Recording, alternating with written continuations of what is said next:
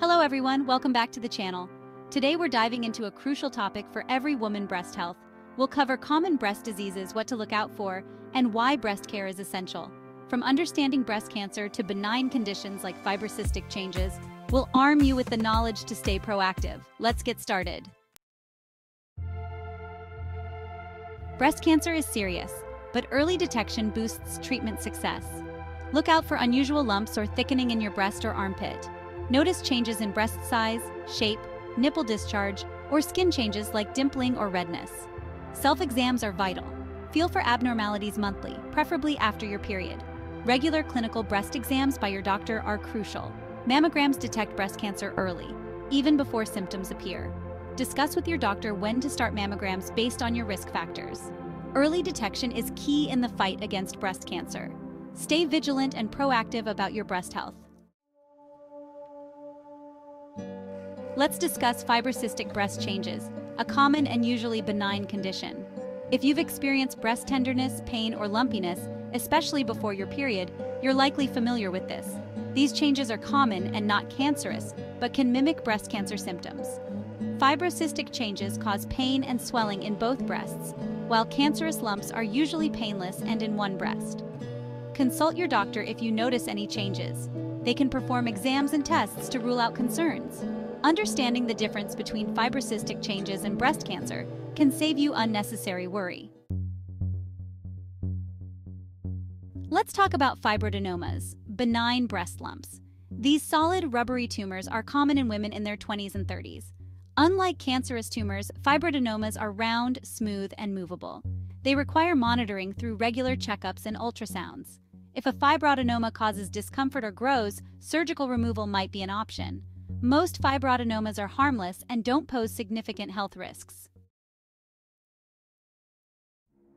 For new moms, let's discuss mastitis, a common breast infection during breastfeeding. Mastitis occurs when bacteria enter the breast, causing inflammation and infection. Symptoms include breast pain, redness, swelling, warmth, and flu-like symptoms. See your doctor promptly for antibiotics and relief measures, like warm compresses and frequent breastfeeding. Mastitis is treatable but needs quick attention to prevent complications. Addressing it early ensures a smoother breastfeeding journey. Let's address galactorrhea, the discharge of milky fluid from the nipples unrelated to pregnancy or breastfeeding. Causes include hormonal imbalances or certain medications. It can also signal underlying conditions like thyroid disorders or pituitary tumors. Consult your doctor to determine the cause. They may order tests to check hormone levels or imaging tests. Treating galactorrhea involves addressing the underlying cause. Proper diagnosis and treatment can resolve the issue. Breast abscesses, though less common, are painful and need prompt medical attention. An abscess forms when pus collects within breast tissue, often from mastitis. Symptoms include a tender, swollen red area on the breast, fever, and chills. Treatment involves draining the pus and antibiotics. Early treatment prevents complications and minimizes discomfort. Stay aware of potential issues and seek timely medical attention. Men can experience breast-related issues too, like gynecomastia, the enlargement of breast tissue. It can occur at any age and is often caused by hormonal imbalances, medications, or medical conditions. Gynecomastia can range from barely noticeable to more prominent growth causing discomfort. Consult your doctor to determine the cause and discuss treatment options.